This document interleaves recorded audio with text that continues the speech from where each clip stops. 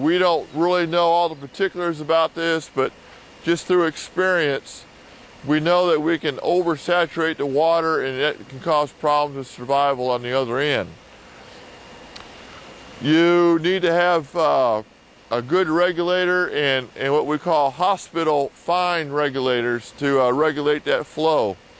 From my experience, when you set the flow rate on these hospital regulators, you're very rarely going to go above uh, two. It takes very a very low amount of oxygen to aerate these shrimp, but you've got to have it. Shrimp can be transported for 14 to 20 hours without any major problems. But if you're going to transport them that long, you've got to plan on feeding them. You need to feed them about every three to four hours.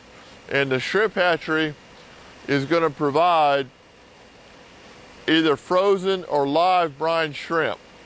And uh, you'll feed the, the PLs these brine shrimp uh, during, the, during the trip. If you don't feed them, they're just going to eat each other and you're going to end up with fewer shrimp when you get to the farm. Okay, folks, this is a standard tote. This tote is normally used in the seafood business to keep product very, very cold. It's insulated. It's about two inches thick. Um, but you've got to modify these totes And a base about three different ways. First off, starting with the lid, you've got to put a hole in there um, so you can check your oxygen and also uh, you're going to run your oxygen hose through this tube right here and connect it to an air stone, which will be on the bottom of the tank. Second modification you've got to make is you have to add a gasket to the bottom of the of the container right here, and also to the, the bottom of the uh, of the lid. And that's going to keep the water from sloshing out. So if you go around curves in your truck, the water's going to slosh, and when the water sloshes, you're losing shrimp with the water.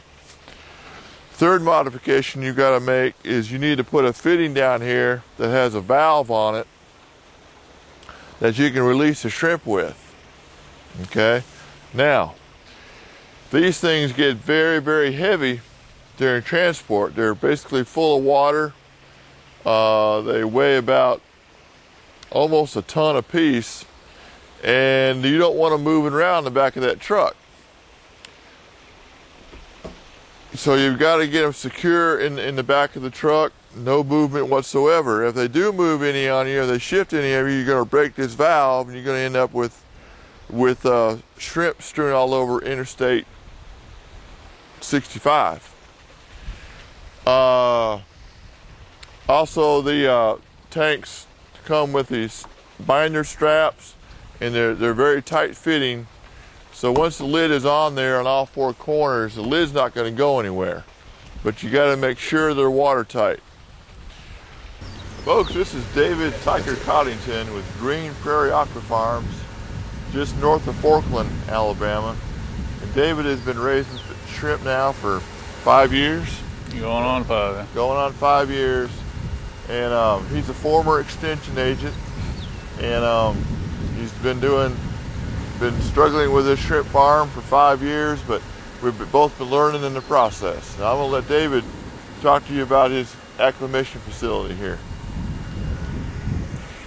Okay, what we have here is our, our really our three tanks. They're, each tank measures 10 by 32 feet, 10 feet wide, 32 feet long. They're about four feet deep. And basically what we've done is construct them out of a four by four with uh, three quarter inch plywood, everything treated, all the wood treated of course, and then we've lined the tanks with uh, EPDM rubber. Uh, we can we can get up to about two million post larvae per tank if we want to put that many in there, and uh, basically you see all the tanks have a water inlet, and uh, at the other end of it, it's there's a drain, and uh, you have to have that, of course, because you, you're always using plenty of water.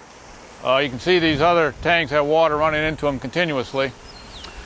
The air line is just constructed out of PVC, and we have it going down to a manifold.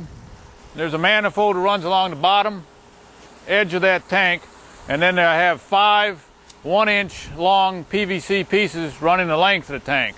Each At the bottom of those one inch PVC uh, pipes, we have drilled, I think it's like a 132nd or 164th hole. All along there, about every six inches, we have a hole drilled in those pipes. So what we do is just blow high volume air, low, low pressure, high volume air using these uh, 2.5 horsepower blowers. And we just blow air through the system. Uh, it's, a, it's a cheap way of doing an aeration system, basically. And we have two two and a half horsepower air blowers that we can use if uh, when we fill these tanks up. The, one of the disadvantages with these blowers is that they don't function very well when you get a little bit of uh, when you get more than about uh, 35 inches of water on top of them. So you need a little bit more power to get air out through the whole system. So we'll use both those blowers once we fill our tanks up. Otherwise, you can get by with about one of them with this set of tanks that we have here. Okay, we have uh, our water supply really consists of two components. We have in our pond back here, we have a, uh, I believe it's like about a one and one horsepower uh, jacuzzi pump that pumps water into our reservoir tank up here in the hill. And we can either, we can pump water directly from the pond into our tanks if we need to, or we can pump water into our reservoir tank and then flow water by gravity from reservoir tank to these uh, acclimation tanks. Uh, that gives us a lot of flexibility. Uh, we don't have to run the pump all the time if we want to get water, basically by using that reservoir tank. Uh, we also have we have lighting here, which may seem somewhat luxurious, but it really isn't because you have to care for these shrimp 24 hours a day. Every four hours you need to be feeding them. You need to be checking on them, make sure the air is running. Uh, so the lights are almost a, they're, they're an absolute, absolutely needed feature for nighttime work. We also have a backup generator, which I just basically have an old uh, welding machine we use as a backup generator in case the power goes off, we can power our at least one air blower with that with that generator. You, you really need to have some backup. Uh, we've used them maybe two times over five years, but when you need it, you need it. You got to have some kind of a generator. Okay, I'm going to introduce you to Mr. Dickie Odom. Dickie was one of our pioneers in the strip business. He started with Rafe Taylor back in 1999 with uh, trying to see whether or not shrimp would actually grow in our inland saltwater. And since then, he's come a long ways. He's actually built more ponds and um, really, really expanded his acreage. And I'm going to let Dickie explain to you his particular acclimation procedures and equipment that he uses. Dickie? Thank you, Greg.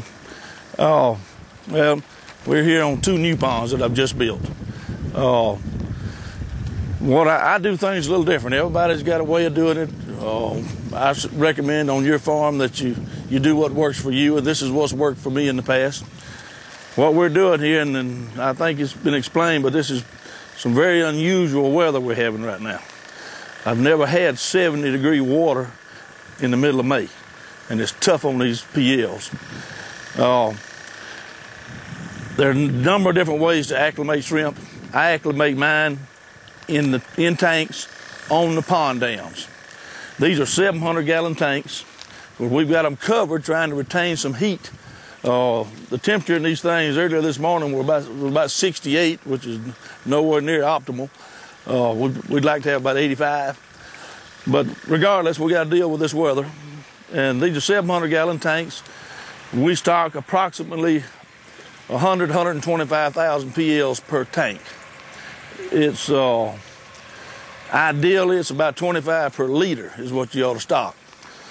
We've got uh, we're supplying these tanks with air, and, you, and we're also introducing pond water at the same time to acclimate these things down to uh, our local salinity, which is about five parts per thousand. We uh, for this for this shipment, I received my shrimp uh, from Florida in uh, airbags and, and styrofoam coolers. Probably the second best way to get them. I probably in totes uh, is the best way, but I did this because with airbags we've got a known number of shrimp in the in the bag. They're easy to uh, distribute. You don't have to worry about counting. You can get them get them in your tanks a little quicker.